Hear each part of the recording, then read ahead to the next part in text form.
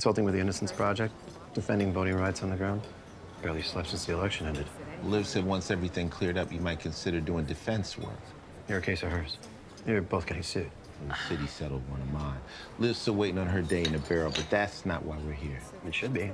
Sorry. Anyway, hypothetically, if we arrested a defendant who was not innocent, Decorated vet, six tours in Afghanistan.